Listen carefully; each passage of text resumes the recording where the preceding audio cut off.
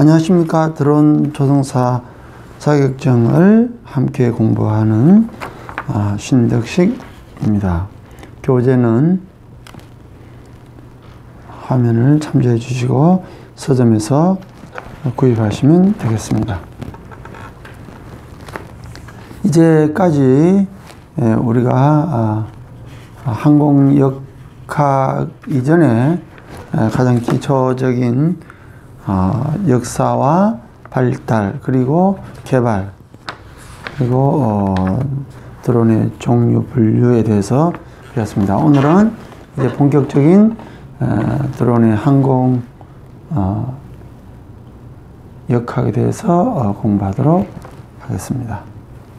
아, 여기 보니까 아, 첫째가 항공기의 비행 원리, 그 다음에 헬리콥터의 비행 원리, 그 다음에 멀리, 멀티콥터의 비행 원리.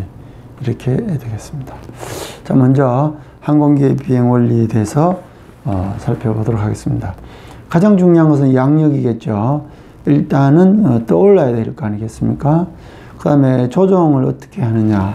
즉, 어, 평형 상태를 변화시키거나 평형 상태를 유지하는 또는 가속도 가속 운동 이런 어, 불평형 상태를 낼 수 있는 만들어낼 수 있는 그 능력을 말합니다.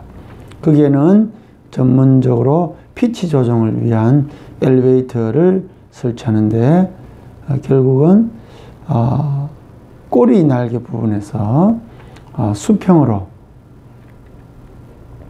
그 다음에 예, 수평 날개의 끝이나 수평 꼬리 날개의 전체 각도의 변화를 그 다음에 비행기가 이륙 직후 일정 고도에 이르기 위해 상승하는데 이때 기술을 어, 쳐들게 하는 어, 역할을 하는 엘리베이터 그 다음에 엘리베이터의 위치 변화에 따라 아, 수평 꼬리 날개의 양력이 바뀌므로 무게 중심에 대한 모멘트를 변화시켜 회전 운동을 발생한다.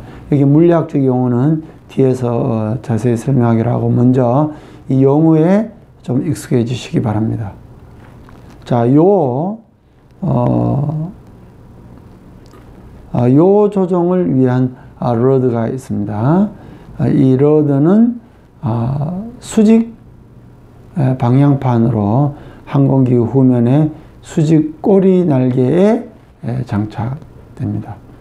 항공기의 선해 조정 시 좌우 회전을 결정합니다.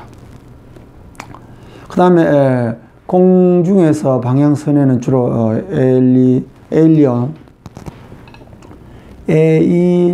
에일런이라는 어, 것이 담당하는데 이 착륙 시에 활주로 등 저속에서는 어, rudder가 담당하고 rudder는 조종석에 그 페달로 작용을 합니다.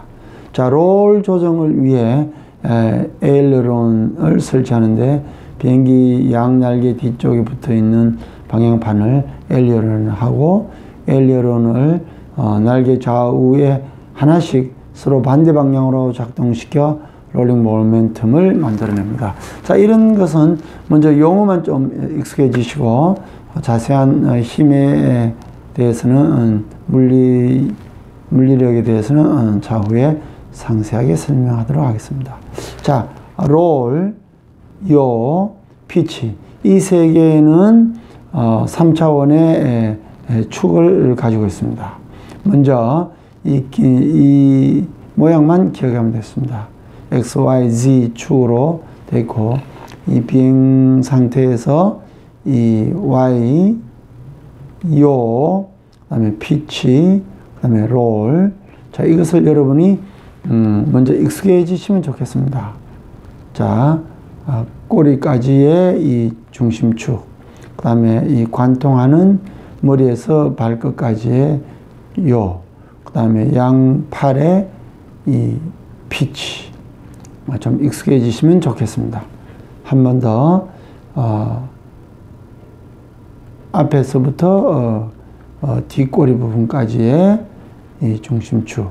그 다음에 이걸 롤이라 하고 그 다음에 피치는 양날개 그 다음에 요는 어, 머리 끝에서 어, 발끝까지의 축을 이용해서 생각하면 되겠습니다. 자,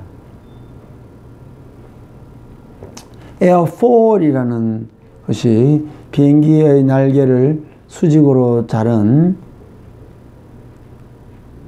어, 단면을 어, 비행기의 날개를 수직으로 자른 단면, 날개 단면을 우리가 에어포일을 하는데 에어포일은 유선형으로 되어 있어 공기 중에서 운동하면서 어, 양력, 항력 등을 발생시키는데 에어포일은 다음과 같이 구성되어 있습니다. upper surface, uh, lower surface, uh, leading edge, uh, trailing, trail이라는 것은 원래 uh, edge, 그 다음에 short, 어, 선 앞전과 뒷전을 연결하는 이 cord, 그 다음에 이 cord length, 어, 앞전에서 뒷전까지의 를 이야기합니다. 여기 보니까 에어포일 수직으로 잘랐죠. 수직면으로. 그 다음에 에어포일의 받음각, 소위 말해서 angle of attack. attack이라는 것은 공격, 어, 비행 방향의 반대 방향인 공기의 흐름, 비행기가 앞으로 가면은 어, 이렇게 앞으로 가면은 반대에서 오는 이 것,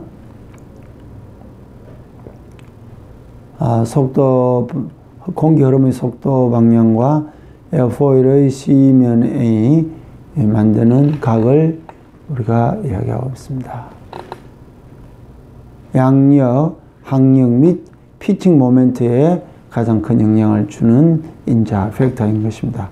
자, 영각, 양각, 공격각 아, 이런 것들은 앞으로 상세히 보도록 하겠습니다. 받음각 조금 전에 얘기한 대로 angle of attack 받음각이 커지면 어, 양력도 커지지만 일정 수준을 넘어서면은 어, 양력은 감소합니다. 자, 아, 지금 어, 이름만 이렇게 나열됐습니다. 여러분들께서 어, 이름을 한 번 더 보도록 하겠습니다. 먼저 어, 양력이 예, 동체를 뜨게 만드는 거죠. 조종성은 피치를 위한 엘리베이터가 있고 그 다음에 요를 위한 러드가 있고 로를 위한 어, 에일런이 있습니다. 다시 한 번 더.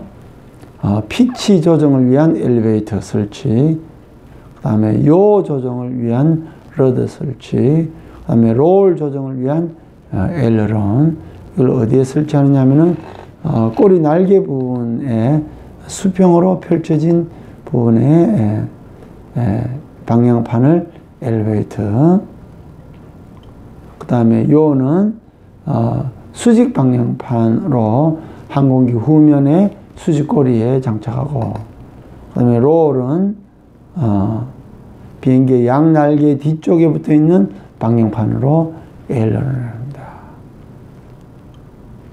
그 다음에 어, 에어 포일은 어, 여기 나온 대로 날개에 작동하는 건데 먼저 어, 날개를 수직으로 어, 자른 단면을 어, 이야기하고 이렇게 수, 수직으로 자른 단면입니다.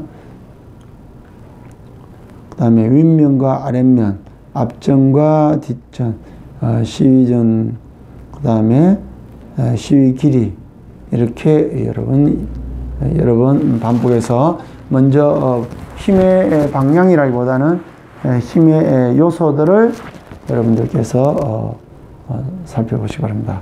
아, 감사합니다.